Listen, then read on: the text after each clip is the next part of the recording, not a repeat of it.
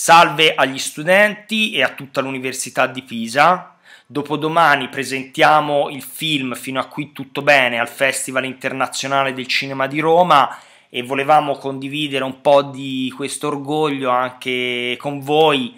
visto che tutto è partito con le interviste, il video L'uva migliore che abbiamo girato due anni fa nell'Ateneo Pisano eh, da quelle interviste, da quei racconti, aneddoti che ci hanno fatto gli studenti, eh, sono nate le storie, eh, il supporto narrativo del film, ma anche e soprattutto ci hanno trasmesso